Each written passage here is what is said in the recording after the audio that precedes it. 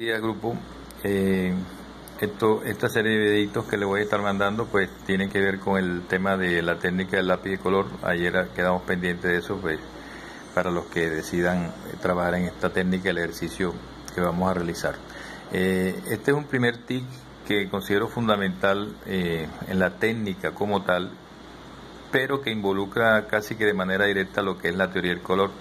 Escogí el, el amarillo como el color para referenciar o explicarles eh, de qué se trata. Fíjense cómo actúa el amarillo con un color dentro de su misma gama para, para considerar o transformarlo en lo que es luego un violeta al, mezclar estos dos tonos.